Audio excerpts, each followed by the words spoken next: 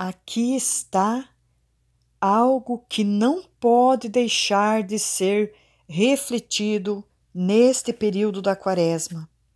Amados irmãos e irmãs, que a paz de Jesus esteja com cada um.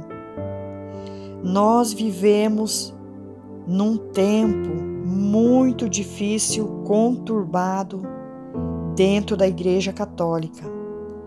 Todos nós ouvimos falar e sabemos do tamanho da misericórdia de Deus, do, de quão grande é o amor de Deus. Ouvimos tanto falar que Deus não faz distinção entre as pessoas, que Deus ama o pecador, que Deus perdoa a todos. E isso é a mais pura verdade. Só que muitas pessoas estão distorcendo isso, pensando que se Deus é amor, Deus é bondade, Deus é misericórdia, então eu posso fazer tudo. Eu não preciso me arrepender dos pecados e eu terei a minha salvação, porque Deus me ama, porque Deus me perdoa.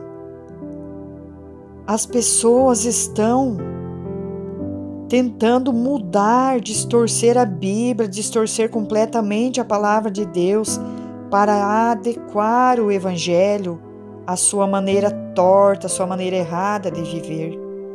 Amados irmãos, eu trago aqui apenas um versículo que vai fazer com que nós mudemos o nosso jeito de pensar. Está no Evangelho de Evangelho de Lucas 5, o versículo 32, quando Jesus diz: Eu não vim chamar os justos, e sim os pecadores para a conversão. Então esta palavra para a conversão, ela muda tudo. É uma palavra que as pessoas fecham os olhos e fingem não enxergar tapa os ouvidos e finge não ouvir. E tem muitas outras passagens. A passagem é um evangelho tão bonito da mulher pecadora que estava caída, estava para ser apedrejada, que Jesus aparece e a perdoa.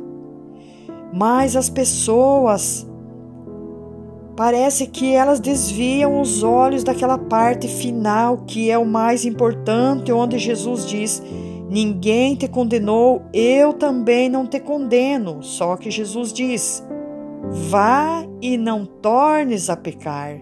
Então Jesus quer a nossa conversão. Jesus pede que nós mudemos de vida. O mesmo aconteceu com a mulher samaritana que estava à beira do poço e se encontrou com Jesus. Jesus fez com que aquela mulher enxergasse os seus pecados e mudasse de vida. O mesmo aconteceu com Zaqueu e tantas outras passagens na Bíblia. Deus ama sim, mas Ele quer a nossa conversão. Que nós guardamos isso no nosso coração hoje. Que nós possamos mesmo nessa quaresma procurar a compreender qual é a vontade de Deus na nossa vida. E que essa misericórdia de Deus, esse amor de Deus, nos chama para uma mudança de vida, para a conversão. E este tempo da Quaresma é um tempo propício, um tempo em que nós nos preparamos para estar mais próximo de Deus, que nós nos arrependemos dos nossos pecados e aqui eu deixo uma dica muito importante que nos ajuda muito na nossa luta contra o pecado, na nossa conversão, que é a prática do jejum. O jejum nos fortalece muito contra o pecado.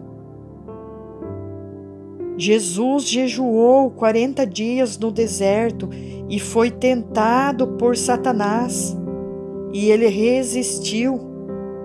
O mesmo nós precisamos fazer. jejuar para sermos fortalecidos e resistirmos todas as insídias de Satanás. Amados irmãos, que essa palavra caia no coração de cada um. Compartilhe esse vídeo com aquelas pessoas que precisam de ouvir essa palavra. Aquelas pessoas que precisam compreender que o verdadeiro amor é aquele que corrige, é aquele que quer a nossa mudança, que quer a nossa conversão. Que a paz de Jesus esteja no coração de cada um.